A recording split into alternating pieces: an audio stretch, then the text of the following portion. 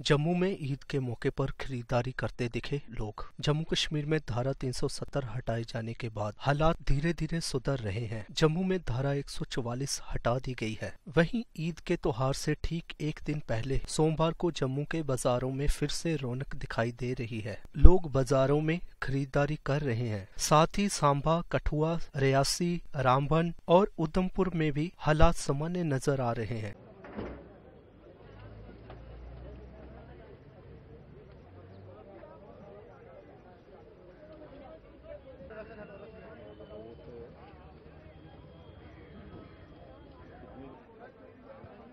हाँ जिस तरह ईद की जो ट्रेड जो है उनकी मंडी लगी हुई है आप यहाँ आए हैं। जी। किस तरह से आपने क्या क्या खरीदा और क्या कहेंगे ईद के ऊपर? ईद के ऊपर ईद की मेरी तरफ़ से सबको मुबारकबाद है ईद आती है हर साल में एक बार आती है। बड़े बड़े लोग आते हैं यहाँ पर बकरे खरीदते हैं बड़े बड़े बेड़ू भी आते हैं बड़े बकरे रेट यहाँ पर इस टाइम हज़ार रुपया किलो भी जा रहा है आठ सौ भी जा रहा है पाँच सौ भी जा रहा है। अपनी ख्वाहिश के पैसे कोई देता है जितनी खूबसूरती होगी जितना माल अच्छा होगा उतने पैसे यहाँ पर मिलते हैं देते हैं।